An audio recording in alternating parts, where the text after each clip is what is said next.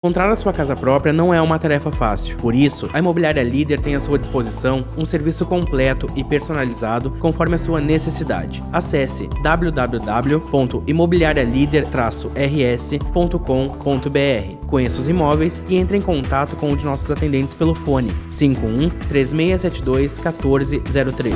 Imobiliária Líder, há oito anos realizando sonhos.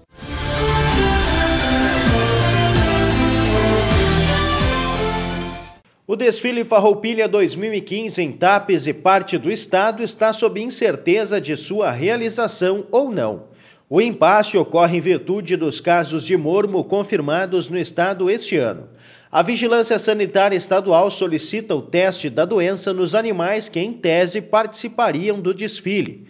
Nossa reportagem entrou em contato com o patrão do CTG Província de São Pedro, que neste ano é responsável pela realização dos festejos Farroupilha. Segundo Jorge Oliveira, para a realização do desfile, a organização necessita que os participantes apresentem o teste confirmando que o animal está livre da doença. E o evento tem de ser registrado junto ao MTG e a órgãos competentes.